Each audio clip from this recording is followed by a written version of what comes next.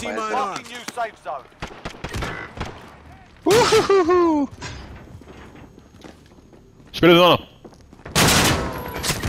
Ah, bitch. Bye.